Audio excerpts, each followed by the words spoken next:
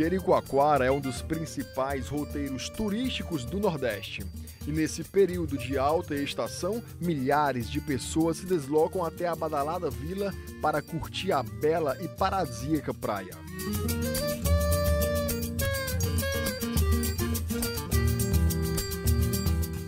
Mas chegar até aqui nem sempre é fácil. É preciso cautela e muita atenção. Isso porque parte da principal rodovia de acesso a Jeri está completamente esburacada. Só tem é buraco. Só buraco. Isso daqui era para ter feito é, de novo. Fazer de novo. Um serviço bem feito. Cadê a BR? Se aqui passasse um terço dos caminhões da BR, daqui não tinha mais nada, tava só o buraco. Rodo a semana inteira, não de moto, às vezes de carro. Mas não tem condição. Hoje estou vindo de moto porque não tem condição nem andar de carro, cara. Tá péssima, péssima. É uma vergonha. E quem passa pela CE com frequência afirma que o problema é antigo. O vendedor Eládio Oliveira conta que para trafegar por aqui é preciso. Muita atenção, principalmente atenção, porque o cara dá uma, uma freada na sua frente, faz uma frenagem, você nem caçar para trás, né? Os motoristas são obrigados a andar em zigue-zague. Em alguns casos, eles chegam até a invadir o outro lado da pista. Um dos pontos mais críticos do percurso entre Fortaleza e Jericoacoara é esse aqui.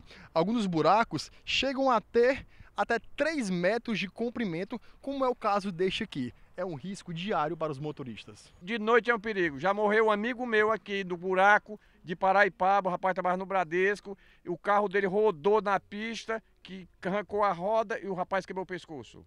Todos esses problemas, além de colocarem em risco a vida de quem trafega pela CE, geram prejuízos aos condutores. Acaba rindo um buraco desse aí, aí passa o pneu desse aí, pronto, aí corta. Aí o prejuízo fica pra gente, né? Desde o começo do ano, que a gente já perde pneu, já empenhei aro do outro carro, tudo, tudo, tudo. E não são apenas os condutores de carros e caminhões que sofrem os motociclistas também sentem na pele e no bolso os prejuízos. No carro, suspensão não tem quem aguente e moto, aro não vai, vai embora. Não tem condições.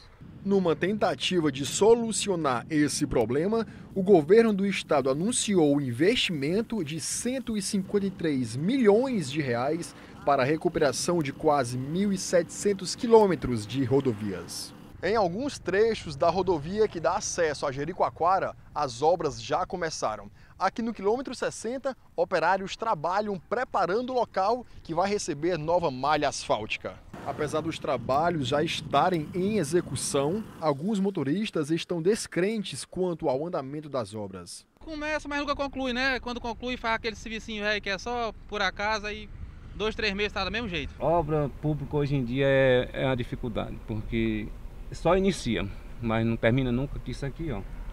Faz tempo que é para ter terminado essas estradas aqui, mas infelizmente os nossos políticos estão deixando muito a desejar. Enquanto a situação das rodovias não melhora, a dica para você que pretende curtir Jericoacoara nessas férias ou até mesmo outro destino aqui do Ceará é redobrar a atenção. Afinal, julho é sinônimo de descanso e não de dor de cabeça.